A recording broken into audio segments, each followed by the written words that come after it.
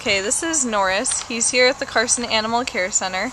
His ID number is A4620702. Um, he's a German Shepherd mix and we think he's about four years old. He came in as a stray and he's just a little bit over 60 pounds. So he's kind of a big guy. Um, he is excellent on a leash and just really sweet and just loves everyone.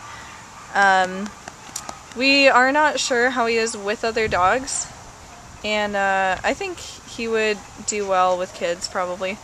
Um, he's pretty gentle. He just loves attention so much, loves to give kisses, and he thinks he's a lap dog. He also may be housebroken, but we're not sure. Um, I don't think it would be too difficult to house train him anyway. So come see Norris here at the Carson Animal Care Center. He's available now.